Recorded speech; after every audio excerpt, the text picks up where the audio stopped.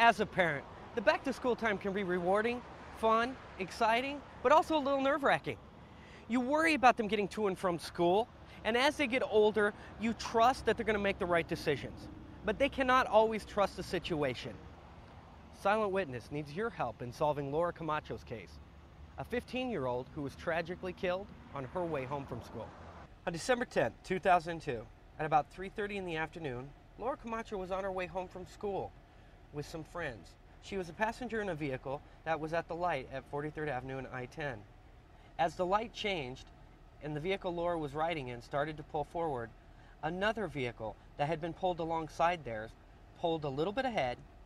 Passenger leaned out the back window and fired multiple rounds, one of them striking and killing Laura Camacho instantly.